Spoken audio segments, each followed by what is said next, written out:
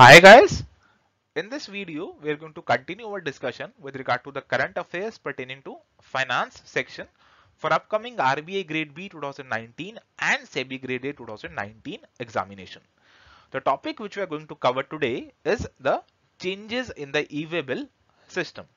Also at the end of this video I am also going to discuss some of the important MCQs which can be asked from this particular topic. Now before proceeding forward, let me quickly tell you about the excellent results that we have achieved over the past few years. Now in 2017, in RBI grade B, we had 27 final selections from our students and in NABARD grade A, we had 11 final selections from our students. And in 2018, we repeated the same success story and in RBI grade B, we had 70 plus final selections and in NABARD grade A, we had 26 final selections.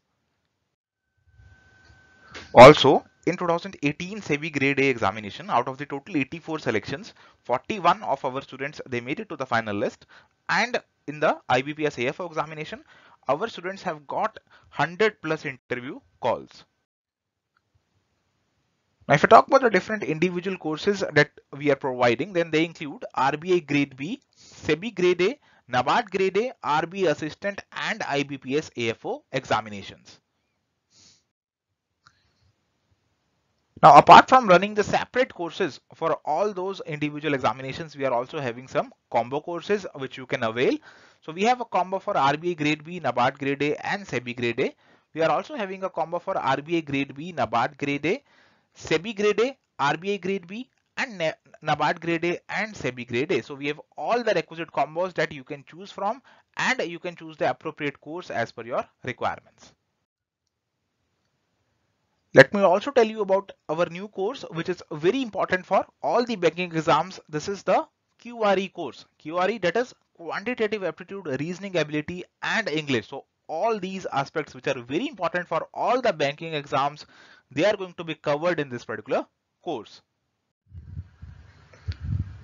Now let's discuss some of the important MCQs framed out of this particular topic. So let's start with the first question. Which of the following is are correct about depository receipts?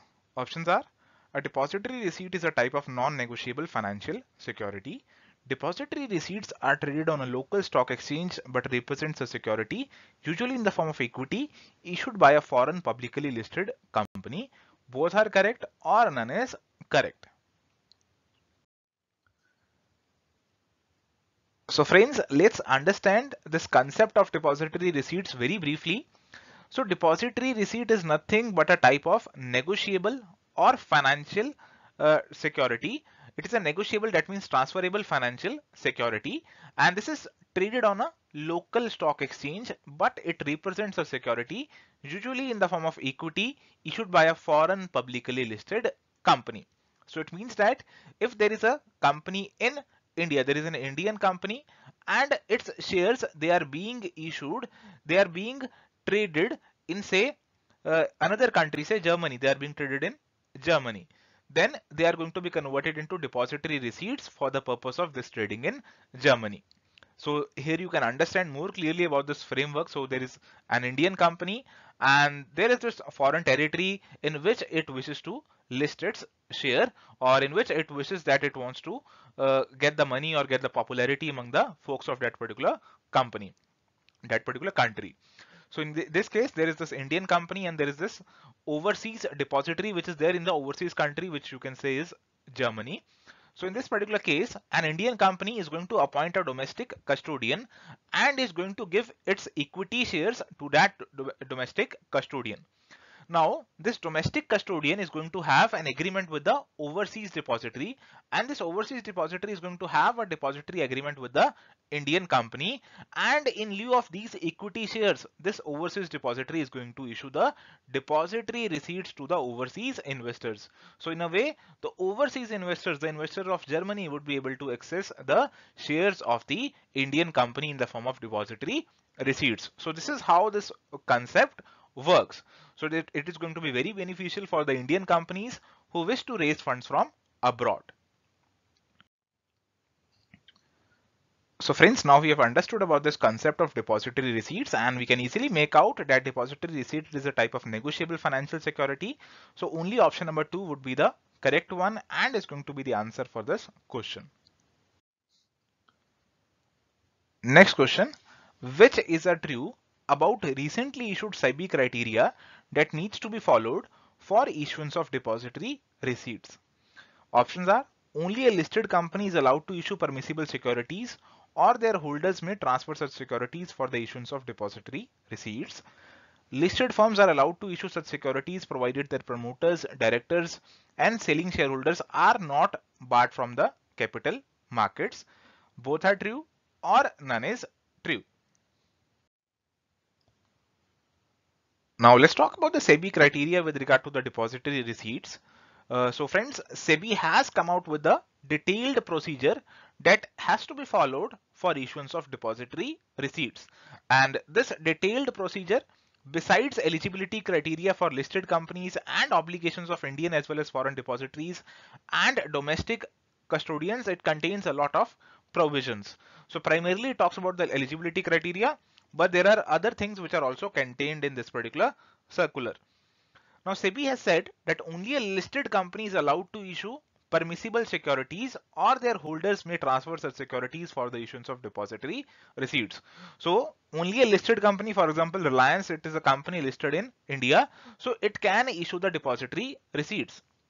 Or what Reliance can do, the shareholders of Reliance, they can say, okay, we'll transfer this much of, of shares for the purpose of being converted into depository receipts. Now SEBI has said that the listed firms they are allowed to issue such securities provided their promoters, directors and selling shareholders they are not barred from the capital markets. So the promoters, directors of Reliance, they should not be barred from the capital markets and also these shareholders who are selling their shares for conversion into DRs, they should also not be barred from the capital markets. Further, they should also not be willful defaulters or economic eh, offenders. So friends, on the basis of, of our discussion with regard to the SEBI criteria, now we can easily make out that both of these statements, they are true. So the answer for this particular question is going to be option number three. Both are true. Next question.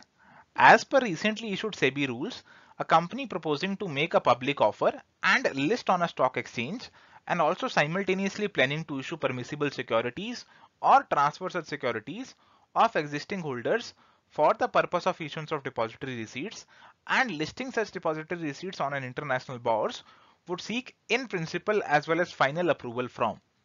Options are Indian exchange, overseas bourse, both of the above or none of the above. So now let's understand about the eligibility criteria with regard to issuance of depository receipts by the Indian companies.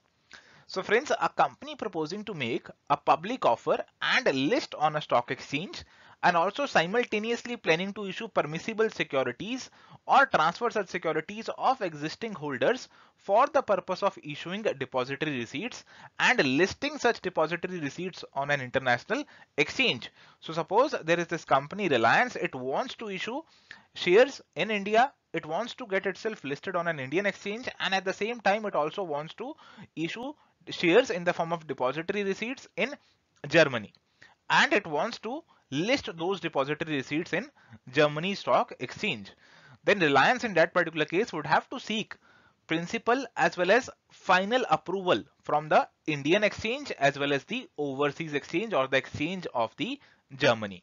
So it has to obtain permission for from both of these exchanges.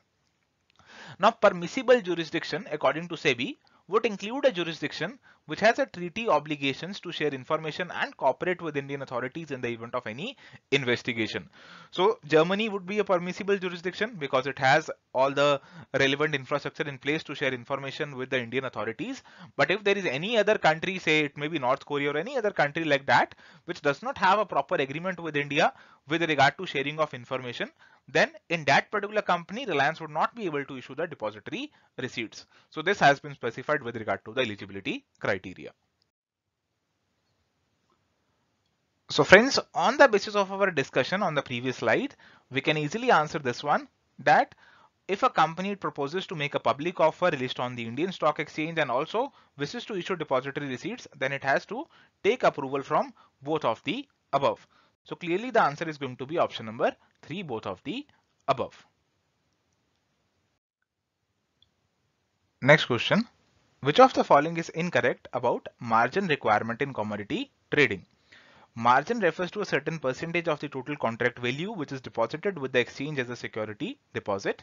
The percentage of margin can vary for different commodities and is decided by the exchange. Both are correct or none is correct. So friends, a very important concept when we talk about the commodity trading is with regard to the margin requirement. So whenever you enter into a future contract with regard to the commodities, then in that particular case, margin is very important. Margin is to be maintained. So if you have to trade in a futures contract, you need to deposit a certain percentage of the total contract value with the exchange as a security deposit. This sum is known as margin. So if you are trading in commodities, you are trading in futures, then in that particular case, the risk is rather unlimited. So in that particular case, you have to maintain some margin. So suppose if you have entered into a contract and the price of that particular contract, it may fall all of a sudden and it may result in huge losses for you. So in that particular case, it is very essential that proper margin is already collected from you to avoid any default on your part in future when the contract actually materializes. So that's why this margin is very essential. Now the percentage of margin, it varies across different commodities and it is basically decided by the commodity exchange concerned. So basically when a commodity trader, it, it is opening a trading account with a broker, he or she is required to put down a capital sum to initiate a trade. This is known as initial margin. So basically if you want to enter into commodity exchange, you want to enter into futures transactions, you have to open a trading account with a broker and you also have to maintain certain margin in the initial part only this is referred to as initial margin and then on the basis of fluctuations in the transactions value Uh, for the contracts in which you have entered you would have to maintain certain other margins as well which may include mark to market margin special margin delivery period margin etc so this is the concept of margin in the commodity trading so friends, based on our discussion with regard to the margin requirement in commodity trading, now we can easily answer this question that both of these statements with regard to the margin requirements, they are correct. So the answer for this particular question is going to be option number three, both are correct. Next question. In its recent circular, SEBI has fixed dash as the cutoff time for the collection of margins from commodity traders that are traded beyond banking hours. Options are 3 p.m., 5 p.m., 7 p.m. or 8 p.m.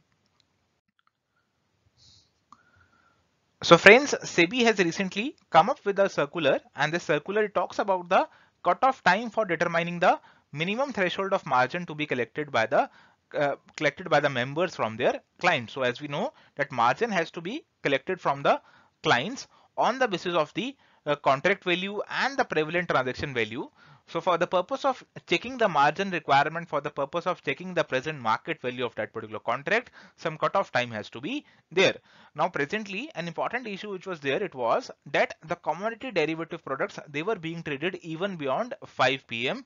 and in that particular case the members they faced difficulty in collecting the margin from their respective clients as the final margin requirement only crystallized at the end of the day which was beyond the banking hours which was beyond the 5 pm so after 5 pm it became difficult to conduct the banking transactions and to meet the margin requirements. So for this particular purpose SEBI has decided SEBI has directed the members that they should uh, determine the margin requirement on the basis of the cutoff time which is to be kept at 5 pm so this is the change which has been recently made by SEBI So now we can easily answer this question that as per the SEBI's recent circular, 5 p.m. is the cutoff time for the collection of margins from the commodity traders trading beyond banking hours. So answer is option number 2, 5 p.m.